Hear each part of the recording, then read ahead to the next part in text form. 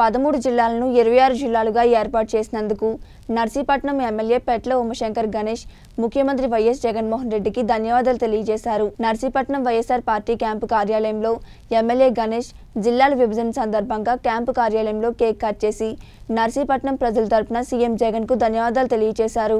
జిల్లాల ఏర్పాటు వలన పరిపాలన ప్రజలకు దగ్గరగా ఉంటుందనే సదుద్దేశంతో ఏర్పాటు చేయడం జరిగిందని ఇప్పటికీ గ్రామ సచివాలయాల వలన పరిపాలన ప్రజలకు చేరువలో ఉందని జిల్లాల ఏర్పాటు వలన ఈ పరిపాలన మరింత చేరువగా ఉంటుందని ప్రజలు దీనిని సద్వినియోగం చేసుకోవాలని ఎమ్మెల్యే కోరారు. గౌరవ ముఖ్యమంత్రి గారు శ్రీ వైఎస్ రమణ గారు ఆనాడు పాదయాత్రలో ఒకే ఒక మాట చెప్పారు. ఏమన్నారంటే అధికారంలో రాగానే ఏదైతే ఇరవై ఐదు పార్లమెంట్ నియోజకవర్గాలను కూడా ఇరవై ఆరు జిల్లాలు చేస్తారని చెప్పారు. మాట ఇచ్చారు మేనిఫెస్టో కూడా పట్టడం జరిగింది. ఏదైతే మాట ఇచ్చారో మాట ప్రకారం ఈరోజు మరి రాష్ట్ర వ్యాప్తంగా పదమూడు జిల్లాల జిల్లాలనే ఇప్పుడు ఇరవై ఆరు జిల్లాలు చేస్తూ మరి ఈరోజు ప్రారంభించడం జరుగుతుంది.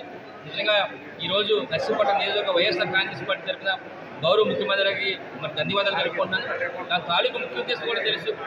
పరిపాలన అంతా కూడా పాలన అంతా కూడా ప్రజలకు చేరువ ఉద్దేశంతో మరి ఇవన్నీ కూడా ఏర్పాటు చేయడం జరిగింది. ఇప్పటికే గ్రామ సచివాలయం ద్వారా మరి ప్రజలకి మరింత చేరువైన ప్రభుత్వం మరొక అడుగు వేసి ఈరోజు మరి జిల్లాలన్నీ కూడా ఇరవై ఐదు చేసినందుకు మరొకసారి నర్సీపట్నం నియోజకవర్గ వైఎస్ఆర్ కాంగ్రెస్ పార్టీ తరఫున గౌరవ ముఖ్యమంత్రి గారు శ్రీ వైద్య రెడ్డి గారికి ధన్యవాదాలు తెలుపుకుంటూ సెలవు తీసుకున్నాం జై జగన్!